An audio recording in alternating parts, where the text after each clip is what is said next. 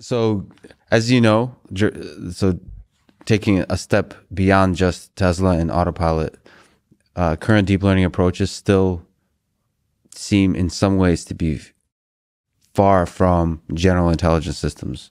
Do you think the current approaches will take us to general intelligence, or do totally new ideas need to be invented?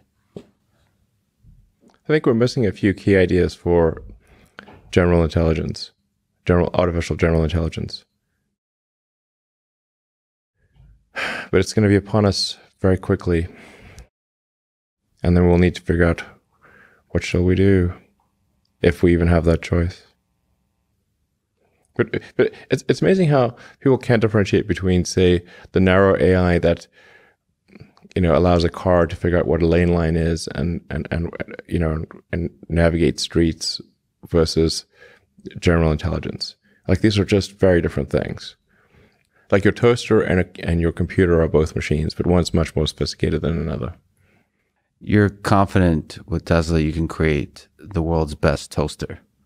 The uh, world's best toaster, yes. The world's best self-driving. I'm, I, yes. I, to to me, right now, this seems game set match.